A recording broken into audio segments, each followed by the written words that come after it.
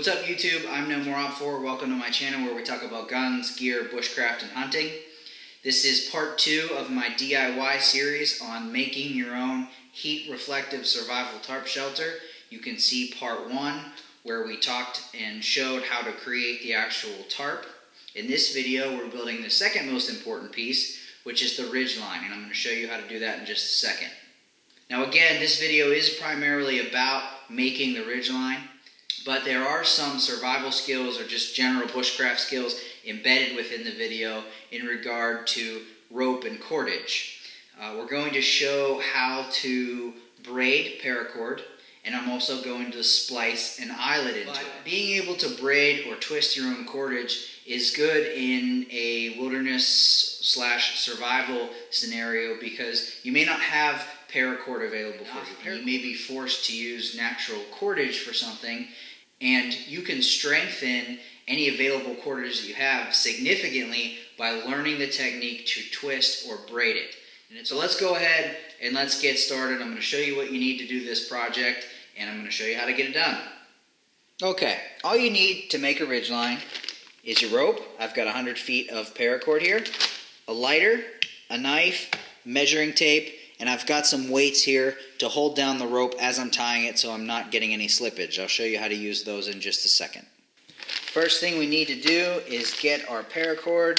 I'm going to measure it out. Again, this is 100 feet. And we're going to take three 25 foot sections. Again, we're going to braid this cordage. We're going to use a three strand braid. And uh, I'm going to take 25 foot pieces. Probably lose a little bit during the twisting. I'll show you what it ends up being after we've got the full length twisted. We're going to take our three remaining strands and burn the ends so the inner strands you can see are already starting to stretch a little bit. That will stop them from stretching as we're doing the braid. You'll want to do this on both ends. This is seven strand. You can use other cordage. Paracord is just the type of cordage I keep in mass quantities. It's most useful to me. Uh, but for a, a shelter ridgeline, we're perfectly fine with using paracord. That, that's not an issue. Now we do need one length of string to hold on to the braid as we're tying it. So I am going to cut a small length. Don't really need too much here and don't like to waste paracord if I don't have to.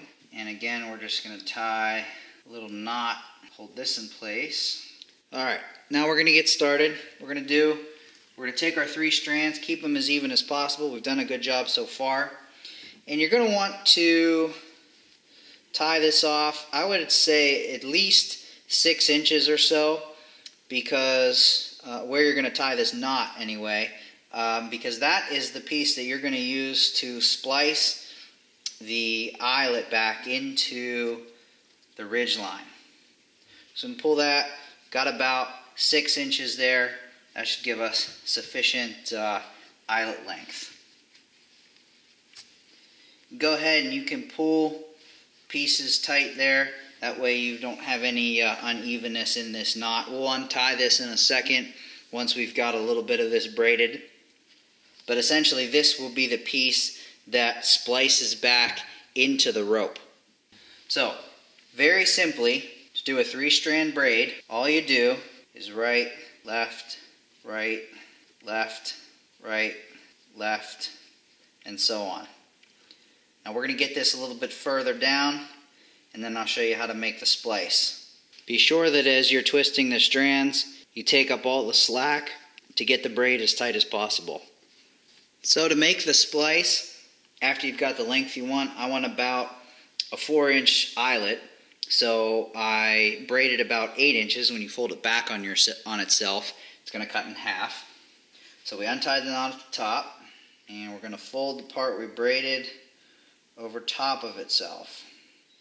Way to test that you're doing it right is you've got the pieces lined up like that. Make sure you don't have a longer piece with a longer another long piece or two short pieces together. That's how you know you've got the braids lined up. And then we simply repeat as we were doing before. So you've got those over top of each other. Right, left, right, left. Now this section is obviously going to be thicker because you've got double the strands. Keep going till you get to the end and I'll show you how to end the splice. Now I like to run the shorter strands pretty far down as I have here. You can cut them though once you've got a sufficient length of it spliced. This is good enough so we're going to cut them here. In order to do that all you've got to do have those up out of the way and continue braiding the longer strands down past the edge of the shorter ones. Once you're a sufficient distance down, a couple inches, all you need, you can pull those strands down and cut them.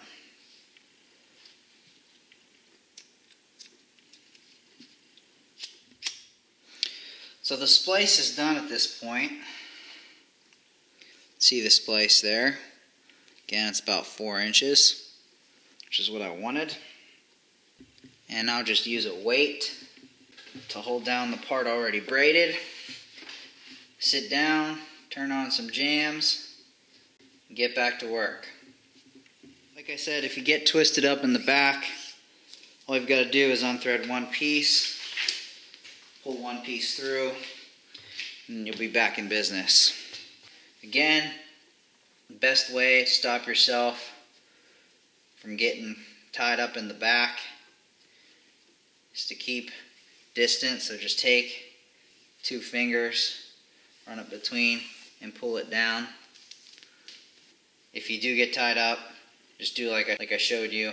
Take a one piece of the strand, pull it back out.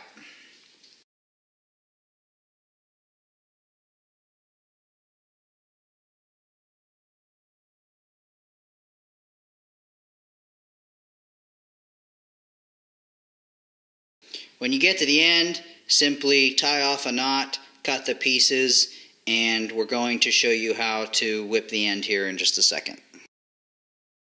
We're using the piece that we used initially to make the eye splice, not to waste anything, and we'll use that to whip the final piece.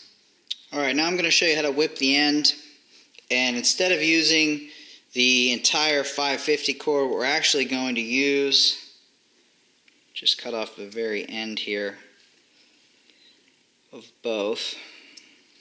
We're just going to use the sheathing, make it a little bit easier.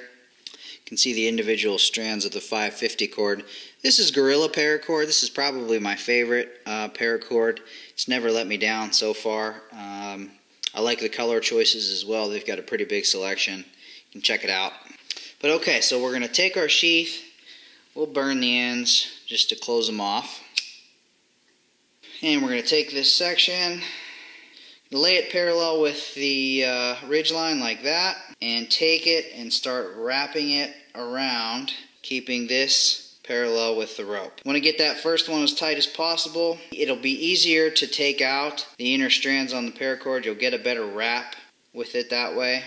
If you leave the inner strand in, because it's wider, you'll run out of uh, the sheathing faster or the rope length faster, but because the inner strands have been taken out, getting a little bit extra length out of it than we otherwise would. Still keeping those wraps tight. Now what we're going to do, probably about halfway up, we're going to take this piece, fold it back on itself. It's best to do it over where it was already coming out of the, the wrap, or the whip, I guess I should say, and whip that over top that underneath strand. Alright, getting near the end. Let me see if I can get... No, I'm not going to wrap it again. So we'll take that end piece, this piece here, and we'll thread that through the bite that we made, like that. And then we're going to pull tight on this piece. That's going to cinch the bite down along with the other strand of the whip. And then just go on both ends and give them good pulls.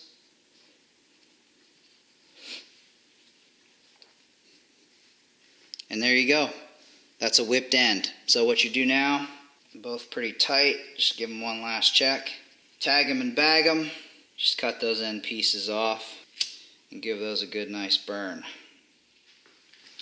So that's it for this video. Ridgeline ended up being about 18 and a half um, feet after, and that was starting with three 25 foot strands, so you can see how much you lose in the wrap, even when you've got it really tight.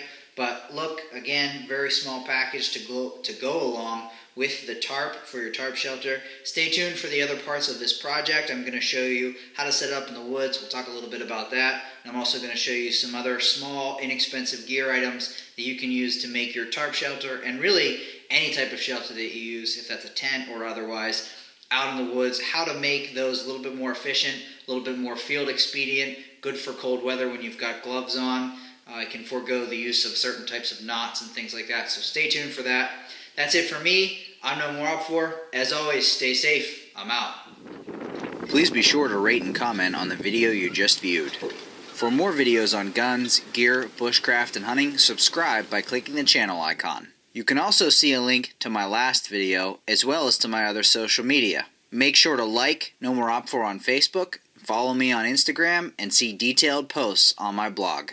Thanks for subscribing to No More Op4's YouTube channel.